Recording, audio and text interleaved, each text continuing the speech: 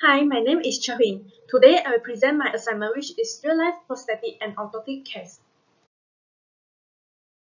Victoria Snell broke her leg while walking with her friend in 2011. Unfortunately, her leg did not heal properly, so she decided to cut off her right leg.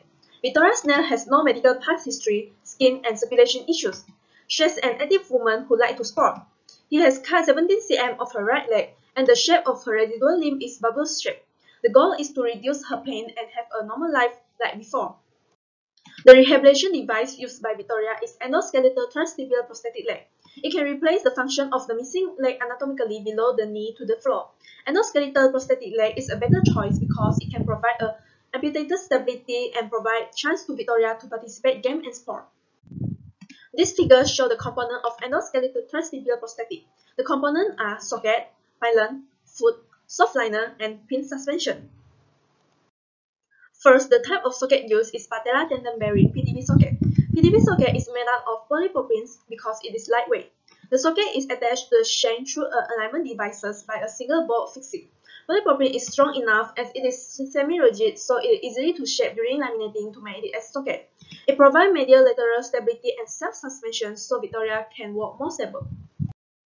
Second, the socket interface is made out of Pelite liners. Pelite is like a hard foam that can vary in thickness. This is very suitable for Victoria because she is new in using transtibial prosthetic and she may be facing unstable problem during use it. Pelite liner has a suitable coefficient of friction to meet the suspension requirement needed by a prosthetic. It is soft liner that can protect the residual limb to direct contact with the hard socket and provide an intermittent pressure. Next, the material used in pylon is nylon. The using of nylon will make Victoria feel more comfortable, more flexible, because it is lightweight, so she can able to walk quickly, and able to reduce shortfalls when she has high impact activities.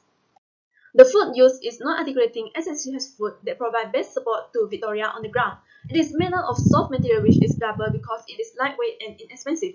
It is soft, noiseless, and comfortable to desire under heel and toe pressure. It is also water resistant that it can support Victoria's daily life activities. The suspension system used is anatomy suspension system which is include lock-on locking liners with shuttle or pins. It is wider medial and lateral socket walls so it can fit closely above and against the medial condyle. It is easy to don and off. The improvement that I would like to suggest is change the SSUS foot to dynamic or energy storing and return foot. She enjoys sport activities such as running and she attended a running race after one year she get amputated. It might be more expensive because it has higher activity level which is 3 to 4. It is made out of carbon fiber component and other spring-like component so that it is allowed to storing a mechanical energy and release it during push-off.